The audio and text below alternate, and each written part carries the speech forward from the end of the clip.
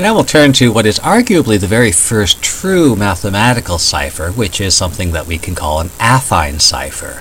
And so this works as follows. Now, one of the problems that you run into with single substitution ciphers is remember what that substitution table looks like. So what letter is A assigned to, what letter is B assigned to, and so on. A rotation cipher uh, sacrifices difficulty for simplicity. As soon as you know the value of the rotation, you can decrypt any message on a rotation cipher. Um, so what can we do? Well, one possibility is to use an affine cipher, and we're going to set that up in the following way. First of all, we're going to choose n with an inverse m mod n, where n is the capital N is the size of our cipher alphabet, 26, 36, however you want to do it. Uh, we're going to choose some number k, doesn't really matter what this value of k is, and we're going to encrypt our symbol p using the congruence, our plain text symbol, value times n plus k mod n is going to be our encrypted value. And since n has a multiplicative inverse, then I can decrypt c as p congruent to m times c minus k. So, for example, uh, let's uh, construct an affine cipher mod 36, so that gives us the 26 letters of the alphabet plus 10 numerical symbols, and then I'll use my standard encrypt uh, standard values a equals 0, b equals 1, and so on, and I'll encrypt the word affine. So we want to choose a number with an inverse mod 36, which means we need to find something that is relatively prime to 36. So what can I do?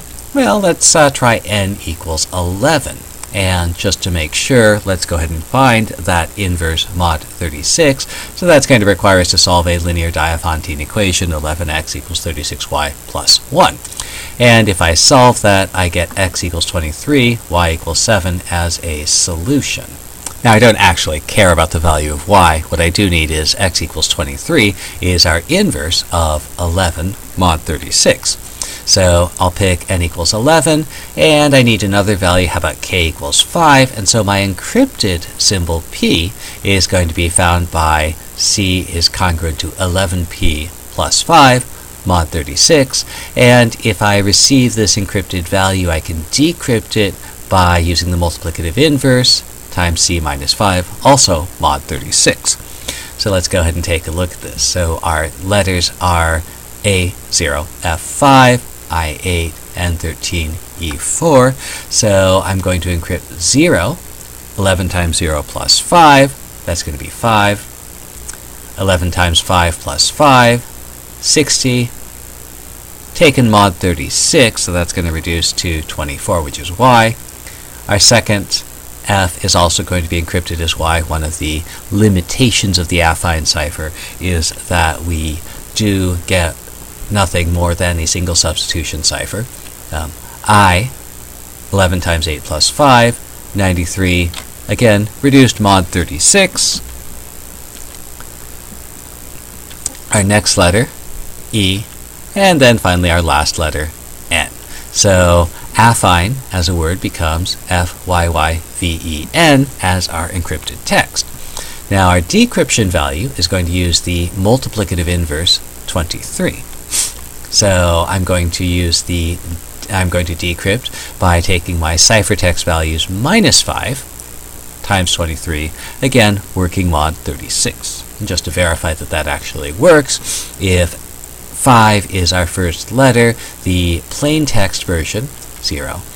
Uh, y is our second, 24 minus 5 times 23, reduced mod 36, and so on.